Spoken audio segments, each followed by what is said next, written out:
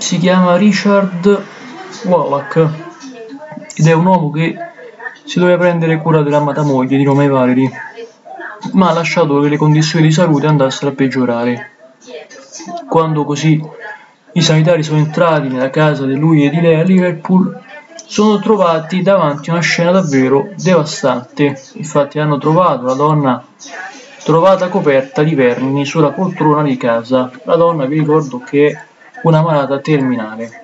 Una scena davvero brutta triste. La donna era intrisa delle sue stesse feci, della sua urina, il corpo devastato di piaghe sulle quali erano presenti anche i vermi e intorno a lei continuamente ronzavano delle mosche. Era malata di cancro la donna, una malattia non diagnosticata, trascurata che le impediva di fatto, di fatto di essere indipendente. Era stata affidata alle amorevoli cure del marito, amorevoli direi proprio no, in quanto non si è fatto vedere solo dopo.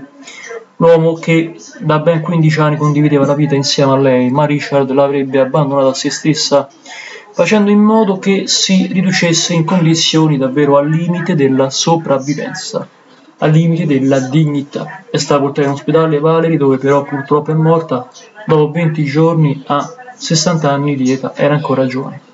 Vi ringrazio per l'ascolto, vi ringrazio altresì per la visione di questo video di oggi. Datemi le vostre opinioni, Valerie riposa in pace, amen.